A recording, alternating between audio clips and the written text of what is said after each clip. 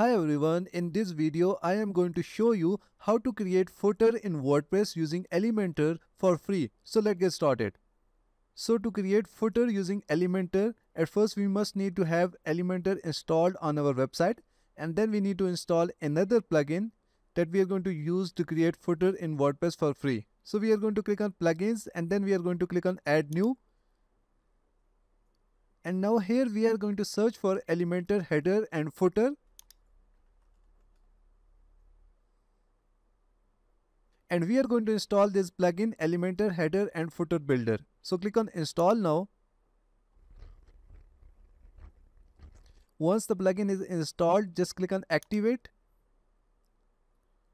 And now from the left menu, we are going to click on appearance and then we are going to click on Elementor header and footer builder.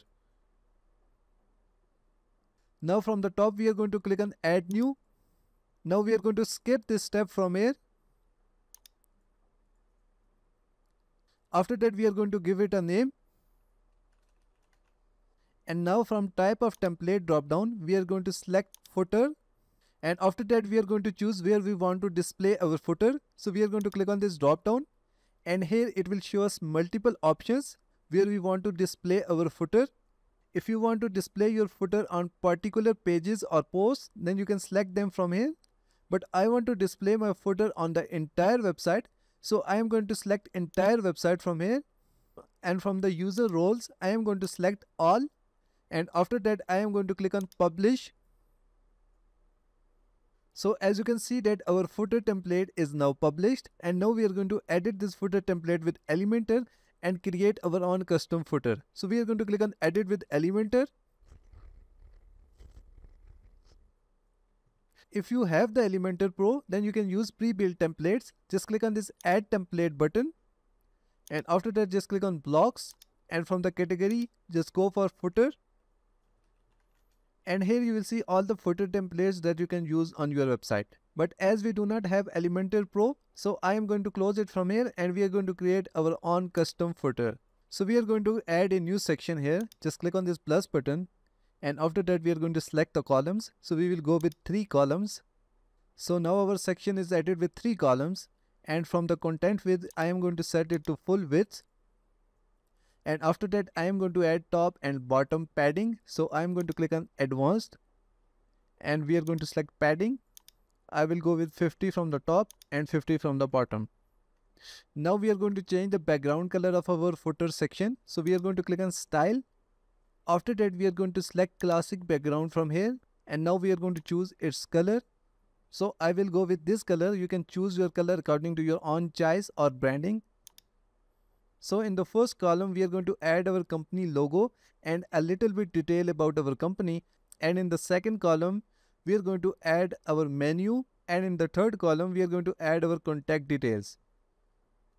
So now I'm going to click on this cube from here and at first I'm going to add image. Now I'm going to click on choose image and we are going to upload our logo here.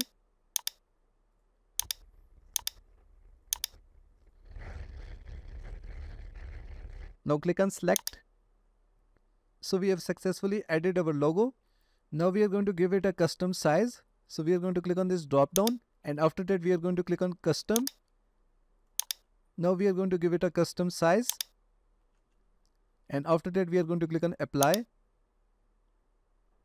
Now we are going to add our text here. So we are going to click on cube again. And now we are going to drag text editor to the footer. At first we are going to change its color to black. After that we are going to give it a padding from the left and right. So I will set 70 from left and 70 from right. So as you can see that now it's looking good. So we are done with the first section and now we are going to add our navigational menu to the second column. Just click on cube again. And now we are going to search for menu and we are going to add this navigation menu to the footer. After that we are going to select our menu and as you can see that our menu is now added and now we are going to change the color of our menu so we are going to click on style. And under the typography section here we will see text color. So we are going to click on this color.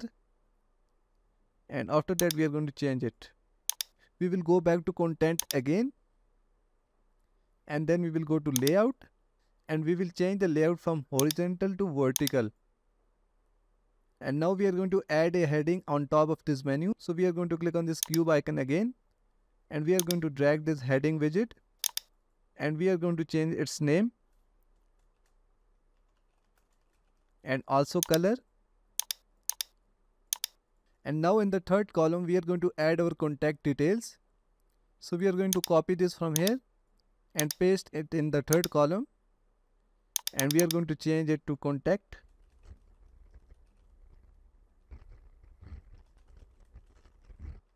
And now to add contact details we are going to add another widget so we are going to click on this cube again. And now we are going to search for icon list. And we are going to drag it to the footer. Now we are going to add our contact details here. So at first we are going to enter our email. And now we are going to select the icon for our email. So we are going to search for message. Or and we are going to choose this envelope icon for our email and we are going to click on insert. And now we are going to change the icon color as well as typography color. So we are going to click on style and then click on icon. Now here we will see color. We are going to change it to black. And same goes for the typography. We are going to also change it to the black. And now we are going to add our phone number here. So click on content again. Select second list item. And here we are going to add our number and we are going to remove the third list item. So as you can see that our contact details are now added and now we are going to add social media icons here. So we are going to click on cube again and here we are going to search for social and we are going to add these social icons to the website. We are going to change their alignment to the left side. And now to add the links just click on the particular social media and we can add our link here. After that we are going to click on update. And now in the last section we are going to create a copyright section for our website. So we are going to add a new section from here. And we will go with one column. Now we are going to change its color. So we are going to click on it. And we are going to click on style. Now we will select classic from here. Now click on color and we are going to change it to black. Now we are going to click on the cube icon again and we are going to add a new heading here.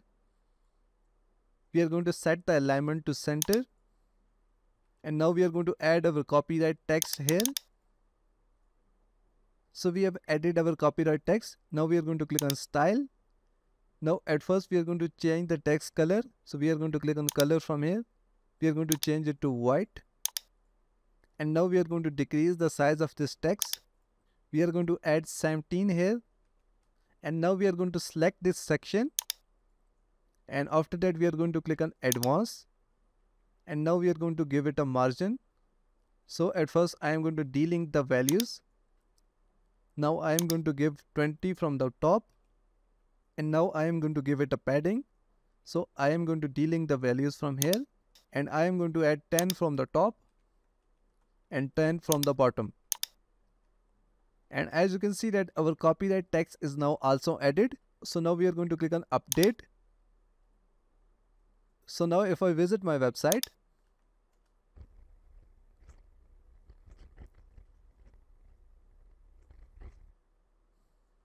and scroll down to the bottom and here you will see the footer section that we have just created.